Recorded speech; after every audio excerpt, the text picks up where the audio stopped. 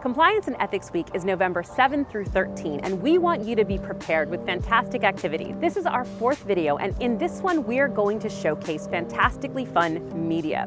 There's a reason that people love watching YouTube videos, especially those that make them smile. Call your e-learning provider and see if they have any clever videos. Companies like The Broadcat, Compliance Wave, True Office Learning, and Real Biz Shorts have fantastically fun content that you can use to disseminate to your people.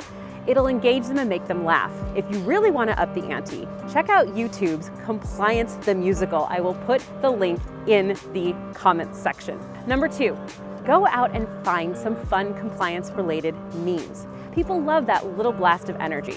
Number three, many companies have an internal television station. You can do things like filming your CEO, celebrating Compliance and Ethics Week, or use some of those fun videos simply to get it out to everybody, especially if you have manufacturing sites. By using this multimedia approach, you'll engage people in numerous different ways. How do you engage your audience with different videos or different types of media? Let me know in the comments below.